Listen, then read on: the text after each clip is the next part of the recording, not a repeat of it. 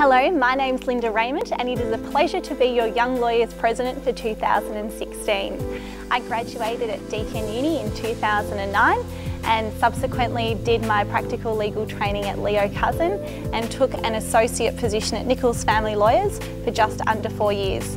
Um, late last year, I took a position as the CEO and co-founder of the Human Trafficking Resource and Assistance Centre, otherwise known as HTRAC.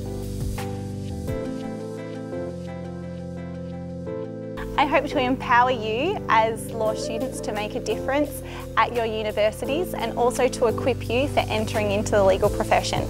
My five top things for this year will be focused on mentoring, marketing, motivation, leadership and justice. And myself, as together with the LIV and the Young Lawyers Executive, are going to be working on various workshops, seminars and events tailored to those five things to give you the best possible outcome.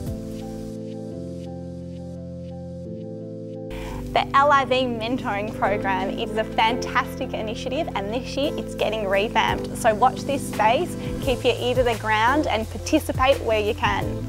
I'd also really encourage you to get involved in the LIV committee. There are so many that you can get involved in, such as the Professional Development Committee, the Community Issues Committee, the Editorial Committee, and if you want, write a blog. We really welcome law students to participate and to write blogs in our Young Lawyers blog that comes out weekly.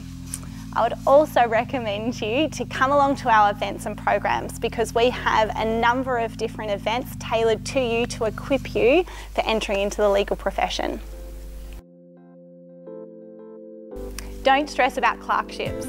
I know as a uni student I spent a lot of time sending out applications and a lot of them were rejected but there is a number of ways to be able to reach your ultimate goal.